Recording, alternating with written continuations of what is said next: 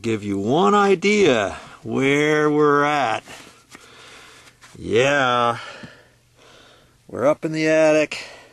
I've got all my stuff here. And we've got to crawl down this way. Down into the abyss. Be right back. Be careful up there. You see, when you walk, you've got that little bit to walk on.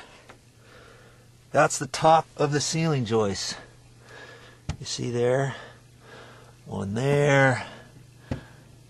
One down over there. And it just keeps going. You got to feel them with your feet. And eventually you might make a little trail down where you're going.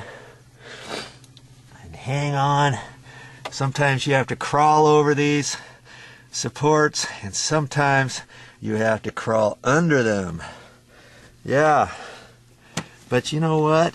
You can do it. You know, this time I prepared myself a little bit and I'm going to try things a little bit differently. I got all my tools in this bag